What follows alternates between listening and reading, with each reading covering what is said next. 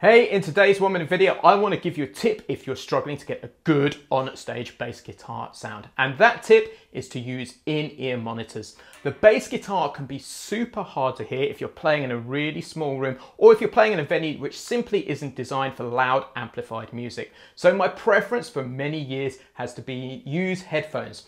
Traditionally, these have been super, super expensive and only really in reach of top professionals.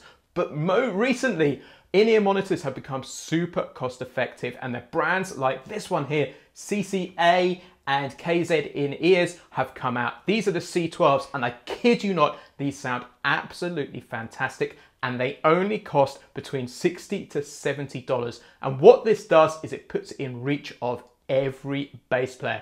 So if you're struggling to get a good on-stage sound, my tip for today is give in-ear monitors a shot and grab a set of these and take them for a test drive.